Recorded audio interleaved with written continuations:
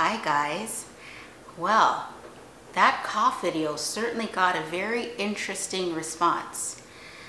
It was a video I posted on my YouTube page about the kinds of determinations you can make if a patient coughs during the clinical swallowing evaluation, also known as the clinical bedside evaluation or the bedside evaluation or the CSE.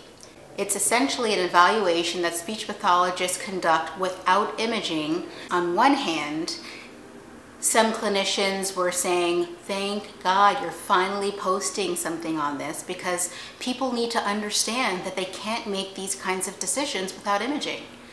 On the other hand, there are a lot of people who are saying, you know, that's all fine and dandy, but this is all I have. All I have is a clinical bedside and I rely heavily on the cough to know whether or not I should make a diet recommendation or not. So what am I supposed to do? Nothing? I mean, look, both sides are making valid points. They're really bringing up essentially what's going on in their reality and the extent to which we should all be considering it. So I thought I'd do a follow-up. Maybe there will be multiple follow-ups depending on what the response is to this one. In some ways, you can kind of think about these two different views as the haves and the have-nots. So the people with imaging are often like, hello, get with the program, and the people without imaging are the people who are like, I'd like to get with the program. Can I get a program, please? Good Lord. In the first video, a lot of people who don't have imaging were saying things like, I mean, you're saying that I can tell nothing based on a cough? I didn't say nothing. What I said is that you can tell that they definitely coughed. If you think that's nothing, that's because you think that the cough indicates more than it actually does. So let me describe why I say that. Let me put it this way. Many would agree that one reason for conducting a clinical swallowing evaluation is to assess for signs and symptoms of aspiration, which can be indicated by a cough. If we just consider aspiration as it relates to a cough, then there's probably four primary outcomes that we can consider when we're doing a clinical swallowing evaluation in terms of how they may or may not relate to each other and the impact of further imaging. So let's go through this exercise. One potential scenario is that the patient coughs and they're actually aspirating. We could call this a true positive. Another potential scenario is that the patient coughs, but they're not aspirating. We could call this a false positive. So the reverse is probably obvious. The third scenario is the person didn't cough and they're not aspirating. We would call that a true negative. And finally, another outcome could be that the person doesn't cough and they are aspirating. That's what we would call a false negative.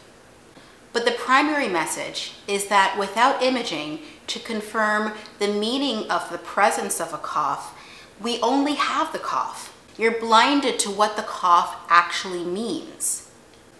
But for those clinicians who have both clinical swallowing evaluations that they can conduct and imaging on the same person, again, to whom much is given, much is required.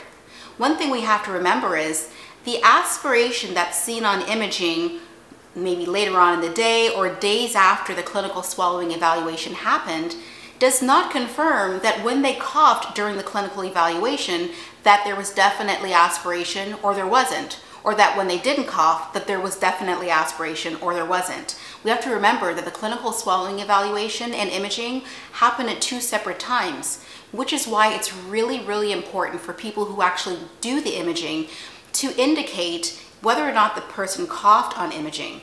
What we want to do is we want to take our clinical swallowing evaluations and we want to know whether or not the indicators that they give us in those evaluations are actually backed up reliably or unreliably with imaging. In other words, if you have a patient who coughs at the bedside with thins, and then you follow up with imaging, and they cough every time with thins, you should definitely document that this is a person who tends to be reliable at coughing with thins and importantly, you can use that as an indicator more reliably at the bedside or in whatever clinical setting you're in when there's not imaging. We want to use our imaging wisely so we can project out for moments when we don't have imaging to determine what behaviors are reliable, what behaviors aren't reliable. Importantly, if you have a patient who coughs unreliably on imaging, you can't have therapy goals where coughing is the outcome measure of anything because you just saw on imaging that they were unreliably coughing. So what does that outcome, what does that behavior really mean? Another thing to consider is that there are patients who cough during the clinical swallowing evaluation that never aspirate on imaging. First thing is you didn't fail.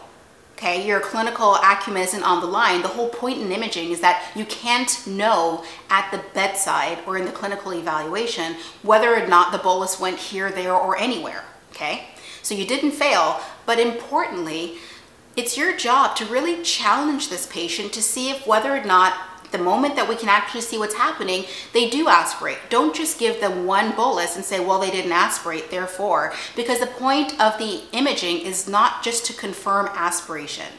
Our job is to understand physiology. So we want to use that time wisely to determine whether or not the presence or absence of a cough in the clinical setting is backed up by physiology or bolus flow, aberrant or not, when you do have a chance to actually see what's going on inside the oral cavity and the pharynx and the larynx. So what's another thing to remember? Coughing isn't always bad.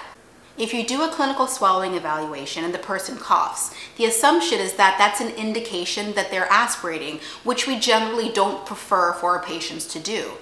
It is also important to know that if indeed that person who coughs during a clinical swallowing evaluation also then follows up and aspirates on that same bolus type during imaging, we want to say, well, at least this person coughs. That's a good thing. Let's give them the benefit of saying, good for you, you coughed. Your body did the appropriate protective behavior in this scenario.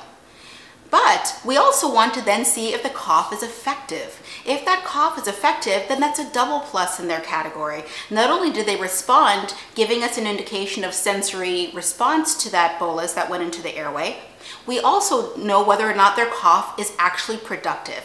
Does this cough work? If somebody's cough works, it's probably better than changing the bolus type to a thicker liquid or having them do a postural adjustment like a chin tuck.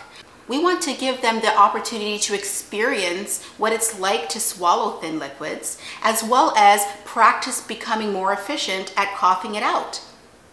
If you take this experience away from them and give them thickened liquids, which we all know they often don't comply with, or postural adjustments, you're then basically taking away an opportunity for someone's body to learn what to do with this challenging situation. As I say these words, I hear all of the squeamish, very risk averse individuals going, but what about this? And what about that? Yeah, certainly. There are circumstances where you might not want to let a patient practice on thin liquids. This person's just got some new lungs. We certainly don't want that to be the case where whatever they're swallowing is going into their new lungs if they've just had a transplant. But not many of us are dealing with those patients. We're often dealing with patients who have the capacity to expel a bolus.